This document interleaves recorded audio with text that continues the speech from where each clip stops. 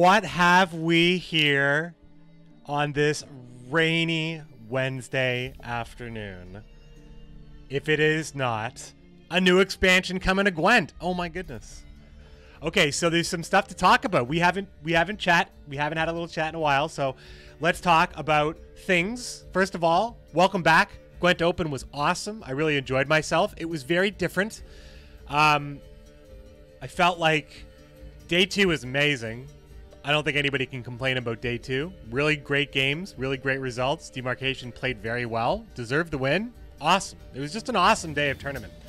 Uh, the first day was a little rough, and uh, and there was uh, it was different for me because usually I'm powered I'm powered by uh, an emotion that I can only describe as I'm here, I'm here, I'm here, I'm here, I'm actually here, and I'm because I'm in the CD Projekt Red studios. And you would think maybe, especially like from people that are maybe more professional than I am, as someone who has been to CD Projekt Red studios, the amount of times that I've been to, that it would be kind of like, all right, let's do this, business as usual. You know, but it's still like, it's still a little bit of I'm here, I'm here, I'm here. So I had to go in without that, but uh, it was still hype. It was still hype, dudes. Had a great time. New season, new meta MCB Quokka MCB Horn. My boy Darnak, 1888. He was born so long ago, but he still knows how to use Twitch. I don't understand. It's amazing. I have some stuff to talk about. I mean, we have, first of all, the new season is here. Welcome to the season of Magic. Once per turn, when you play a special card, spawn and play a copy of it after. That is the same, right? It is the same? I'm pretty sure. Uh, the Season of Love bundle, yes, covering everybody who wasn't active last February, which was me, actually. All right, where's the meat? Yeah, yeah, the overgrown bundle. I got mine. I got mine. Support Gwent Esports. What's going on? Z, huge 510. Master Mirror Hype MCB Horn MCB Horn. Thanks so much for the resub, my friend. Commandos! Support your Gwent Esports. Thanks so much. Thanks so much for the support on Gwent Me Sports. I'm surprised that there were no balance. Uh, but I guess we're just playing good old stuff. Some good old stuff. We're going to be playing some. Uh, we're just going to be playing some of the same. I don't have to remake any of my decks, I guess. That's good. I mean, you like to see a little bit of stuff to change, like even like a, even like one new thing, like when the Crones changed. That was kind of out there, but first of all, that change was dope. I wanted more to change last season. For some reason, I'm like more okay with the fact that nothing changed this season, but I don't know why. I wish I could tell you why. We got ourselves a 70 card expansion coming in themed after Gaunter O'Dim himself and his role in the continent's history. So some new hot Gaunter lore with 11 neutral cards. Okay, so this is cool because what I liked about Merchants was the neutral cards that were added were all very specific, fairly playable. I mean, like Ophiri Merchant was like Mimi, but at least it was Mimi and not just like some unplayable thing. And I guess Caravan Guard, not Caravan Vanguard. Caravan Guard. That card seemed a little underpowered and still does. But like everything else kind of saw play here and there, memes or not. I don't know. It's great. So when there's not very many neutral cards, it means that there's more faction cards. And it also means that they can focus on the quality of the neutral cards. I mean, we're going to watch that YouTube video as well. We're going to watch the dev video that was premiered today at 7 o'clock in the morning. I just woke up. So now that my day has started, I started my day with a hearty breakfast of a cupcake. I have had a lunch of a leftover burrito. I truly am so I'm in great shape, dudes. Let's hit that pipe, Gaunter. Hit that pipe.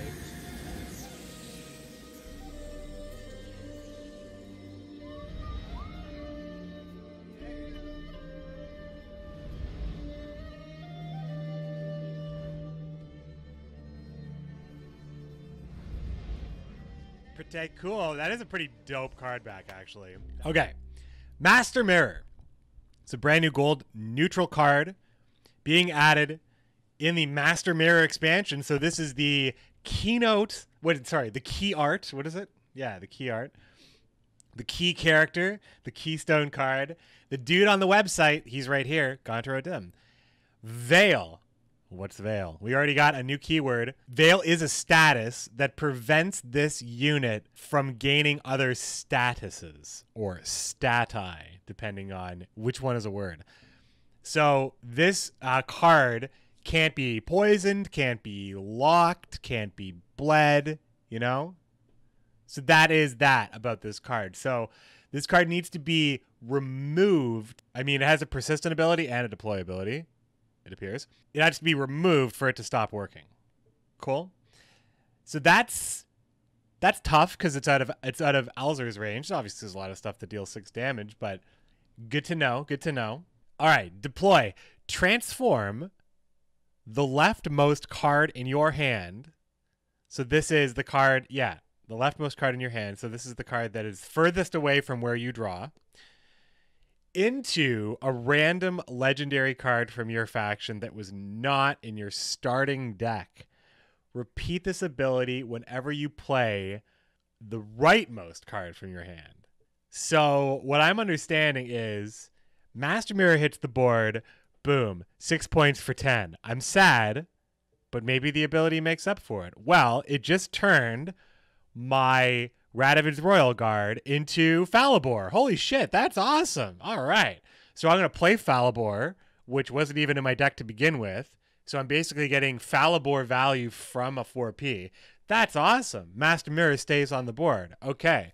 So now I'm going to play the, the next rightmost card from my hand, which is just whatever it is. So I'm maybe I'm getting good value.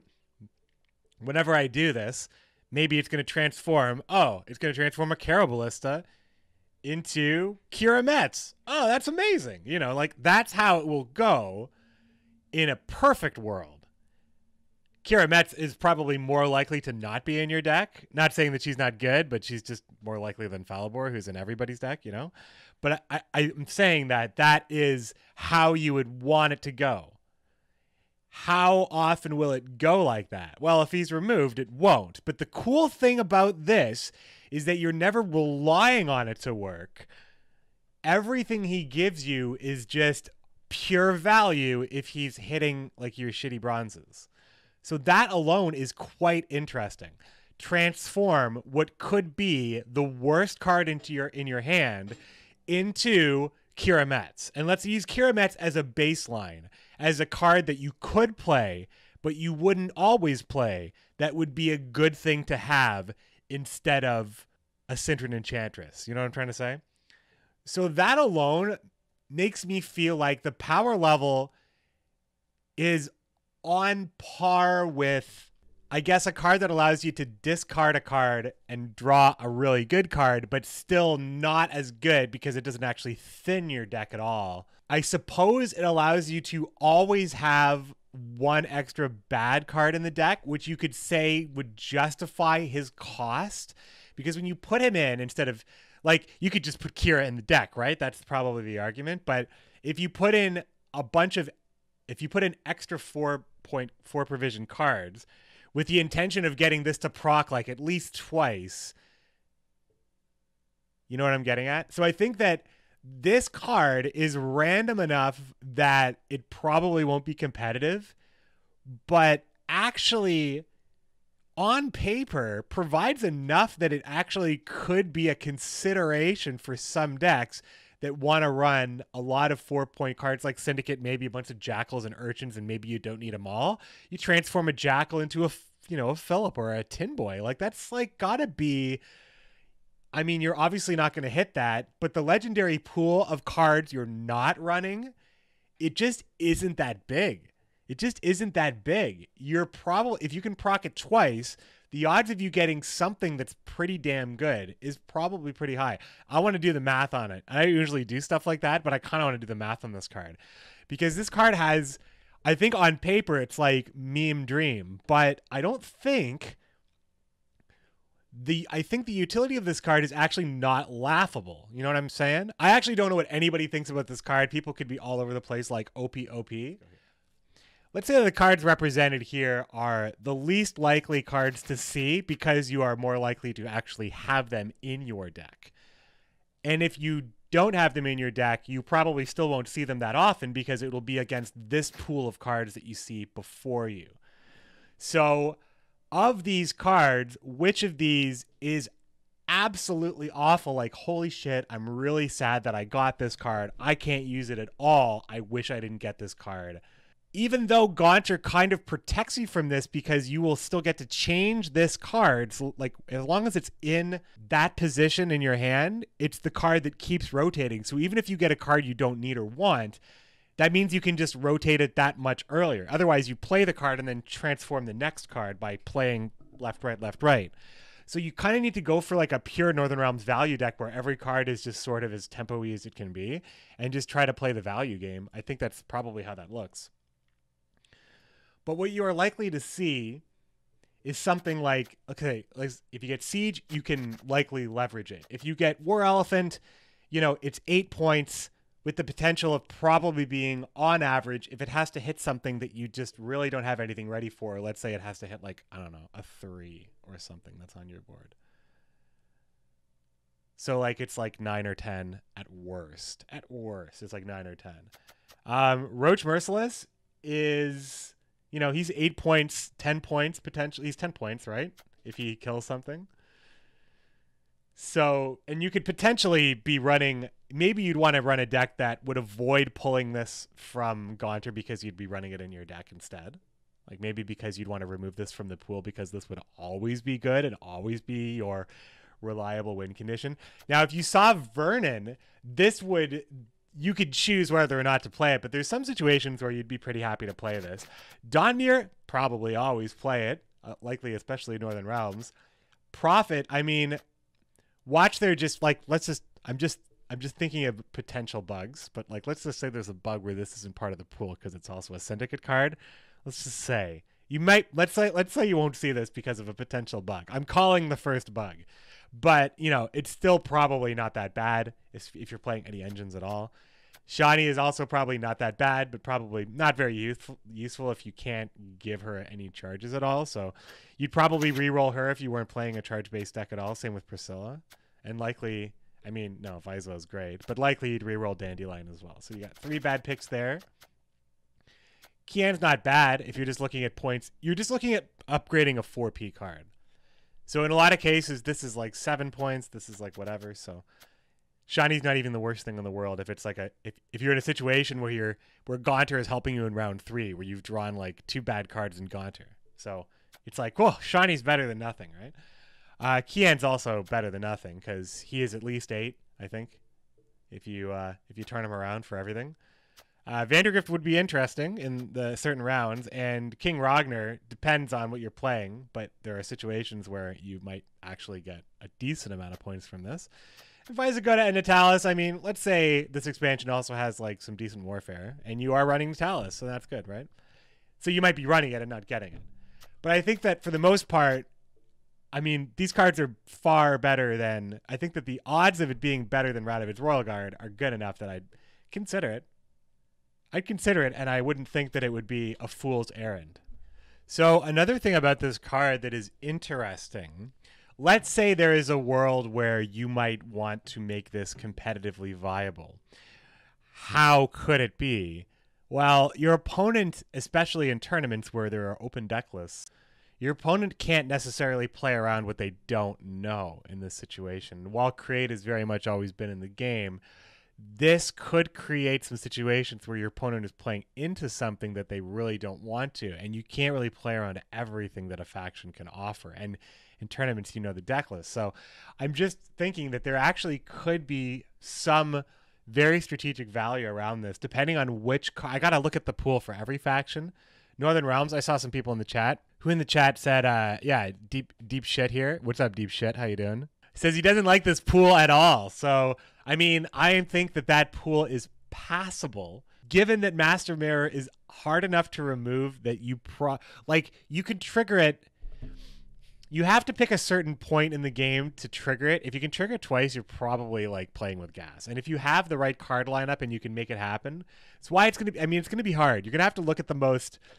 I mean, the probably the deck that can make this work is probably not even ultimately. It'll be awesome, but ultimately, pe- people will probably think it's not interesting because the best deck that can make this work is a deck that's just going for like the biggest point plays every turn. So it's going to be point slammy, trying to convert less points into a ton more points and fool the opponent. So So it's a very interesting. Do we do we have any other examples other than Master Mirror lined up for Veil? We actually do. We have Ooh. Hey. the Spoon Lady. That's what I like to call her, uh, the official, the spoon lady.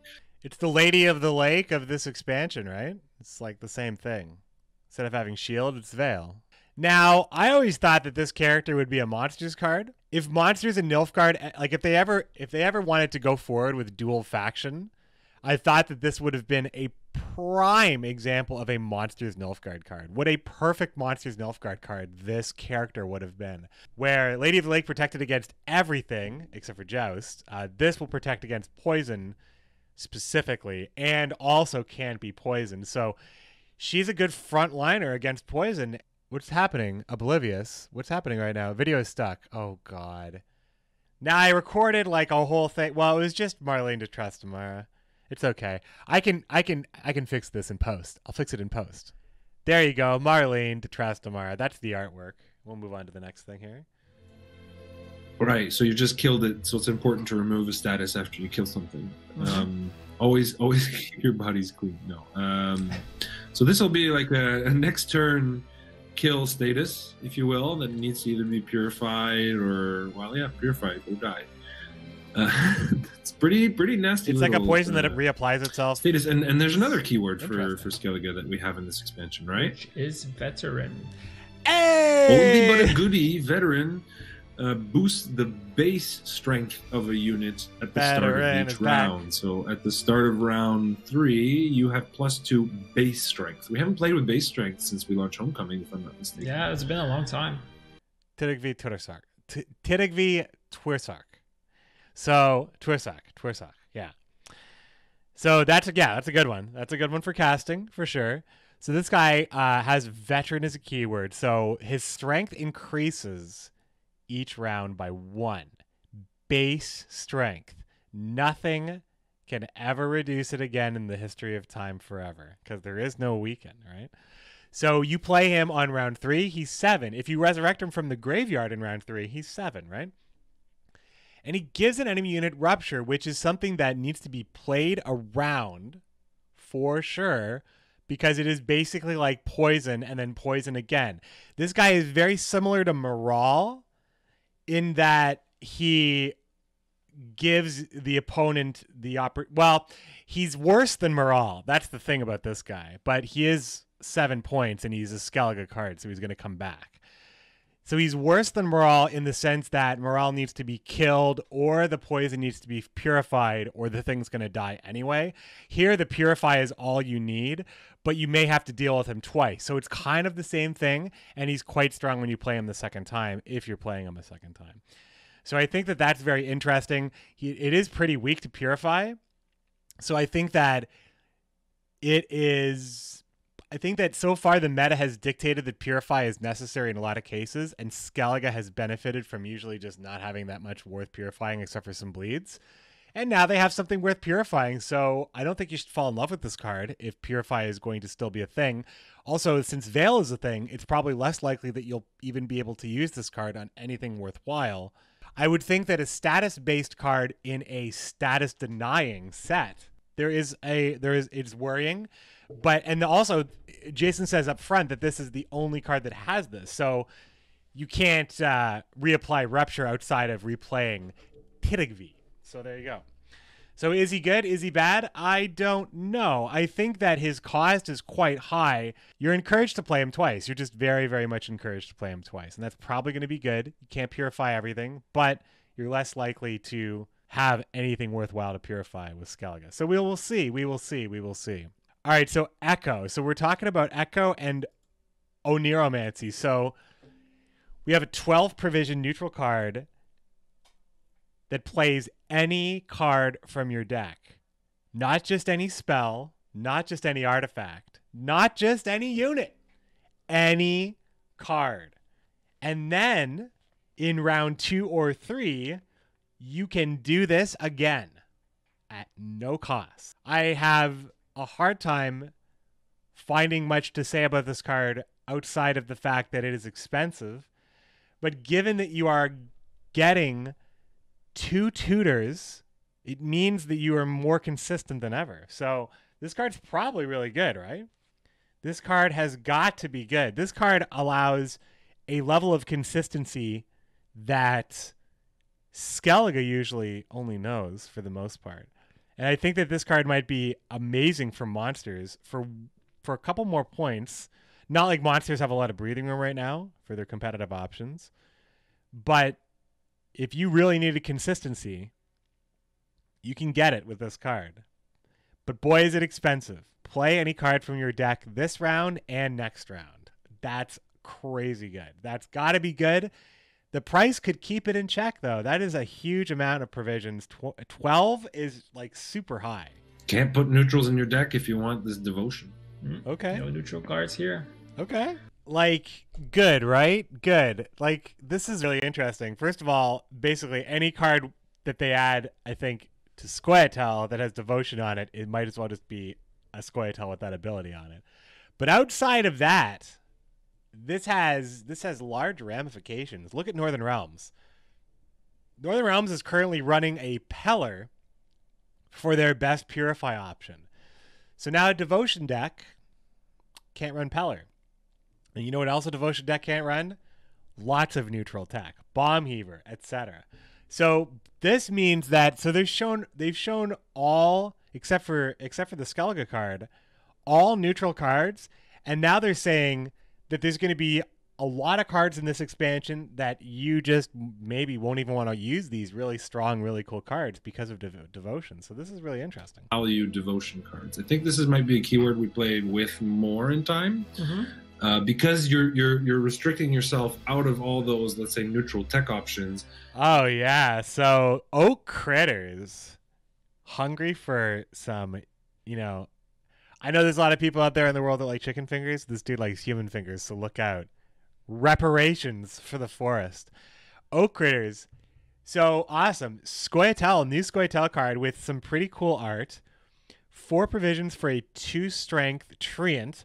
So having a bronze treant, there isn't one, right? Now there is. So this makes Nature Rebuke a very much improved Alzur's Thunder if you wanted to ever use this for whatever reason, but gives bleeding, spawns two of them, and if you're running a Scoia'tael deck of any kind, you're probably not running a lot of neutrals.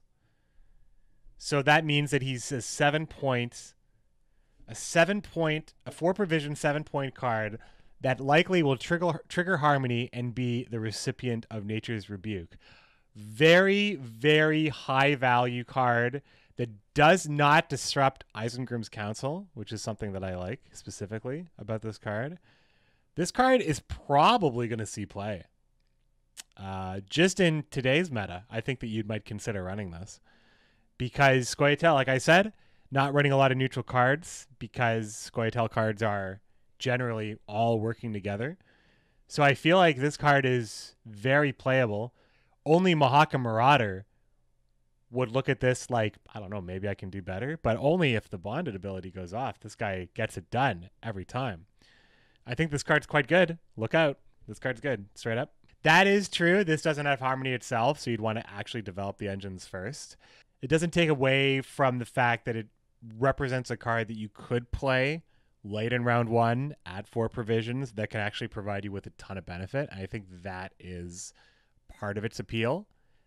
And the fact that without any harmony proc, it is still representing seven points in most situations, which is pretty good for four for four provisions, especially for Scoia'tael, which doesn't tend to see that because of how good harmony is right now. So I think that um yeah, seven is pretty high, I think, for Scoia'tael's four provisions. Yes, next up we have Conspiracy. Trigger this ability if target unit has spying.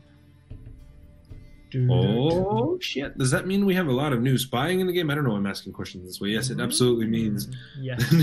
Wow. Nilfgaard will have a lot of new uh, spying cards in Well then, hey Nilfgaard fans, you're gonna get a lot of new spying cards. Not one, not two, not a rework of an old card into something that might support spies. You are getting quite a few you're getting so many, you're getting a keyword that supports spies. So, holy shit, dudes. This is the age of Nilfgaard spies. I hope for the Nilfgaard fans out there that they do it right for you. So you look at a card like Angry Mob and you look at a card like Emissary or, or, or Duchess Informant or whatever, Roderick and such. And it just now, and if there's more that supports spies, we're just looking at what likely is a core card. It either gets the points and it's a core card or it isn't. But at four provisions, it probably could be, um, depending on how good the other cards. But if this is like a supporting arc, if this is a, an archetype support card at 4P, the value seems there. So I imagine that this is probably very good. I mean, it looks like seven points at 4P, where the tortoise is looking like maybe seven points at 5P used a lot. Because it's a soldier, generally, the trade off is good with the armor. I think that this is this this does look like this is probably even playable at t- no, I don't know.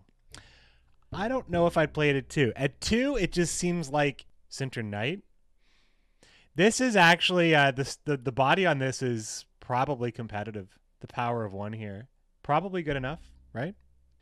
Okay, so if you have two symbiosis units and you play Nature's Rebuke, you get a two point Treant, Wandering Treant. So it rewards spell casting, but these are the units that support. You need to have them on the board first. So you set up with these cards, and then you start taking over the board with your nature spells. So will the setup have the tempo to compete?